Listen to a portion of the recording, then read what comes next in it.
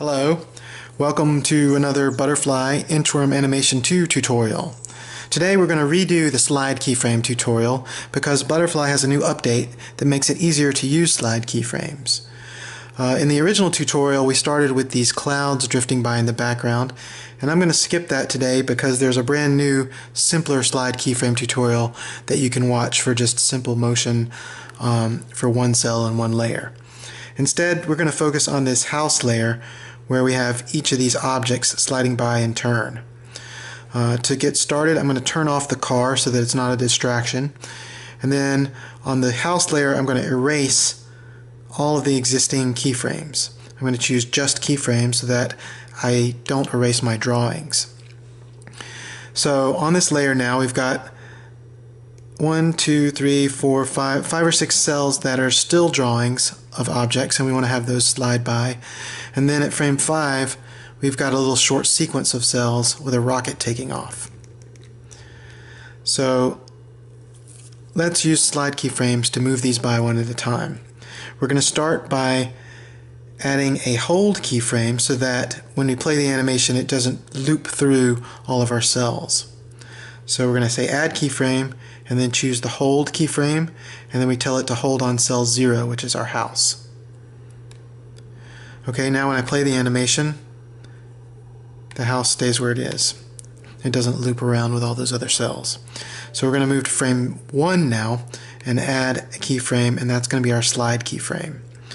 So we start with the angle and we want it to move from right to left which is in this direction.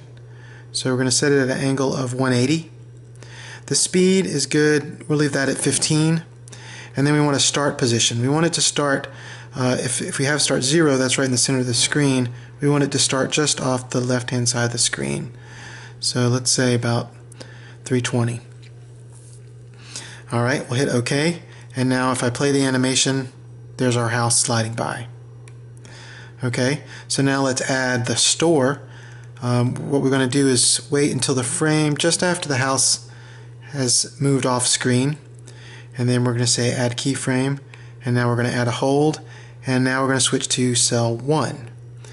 Now it's actually switched to the store but you can't see it because it's off the left hand side of the screen so what I'm going to do is zoom out a little bit so that we can see that.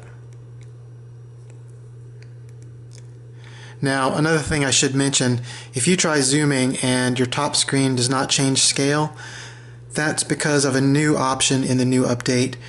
Uh, if I go to the options screen, you'll see this zoom top screen check mark. You want that checked if you want the top screen to change scale when you zoom. Otherwise, only the bottom, uh, the bottom screen will scale. Okay, so back to our animation here. I've added a hold keyframe, which causes the house to change to the store. And then we're going to, we're going to step forward one frame to 44 and add the slide keyframe.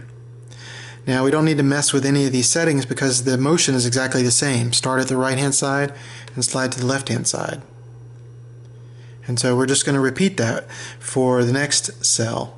So we say add keyframe, hold on cel 2, which is the castle. And you can see that the castle is wider than the store. So when it switches there, it's still off screen. So what we need to do is just make sure that we start that a little bit later. So I'm going to move this keyframe forward a bit so that makes sure the store is far enough off screen so that when you switch to the castle it's also off screen.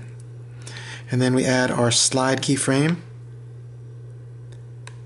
and there we have the, the castle sliding by. And finally let's go ahead and we'll skip over the jungle and go straight for the rocket and the zoo. We'll skip the zoo. So now we've got our rocket and we add the slide keyframe. There we go. Now, what about the rocket?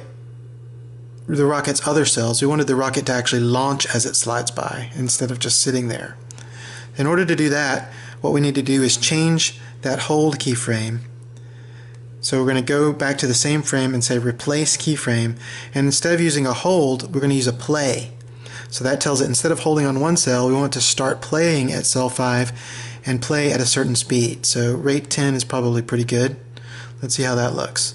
So now as we're stepping forward, see it's actually playing those cels at a rate of 10 frames a second, which means every three frames it changes. Okay, so now we'll go back and we'll do one last cel. We'll add the, we'll go back in and let's put the, um, let's say, let's put the zoo back in there. And then step forward and add the slide keyframe. And I'll go back to the zero and reset my zoom. And now if we play, there you have all the objects sliding by. And I'll turn on my car so you can see it. Now one last thing you might notice that uh, the very first frame there's a glitch because that hold keyframe uh, is before the slide keyframe and so that causes the house to appear right in the center. In order to fix that um, all we need to do is we can replace this keyframe and we'll just turn the opacity down on that first frame so that it doesn't show up. And there you have it, how to use multiple cels in conjunction with slide keyframes in Butterfly. Thanks for watching.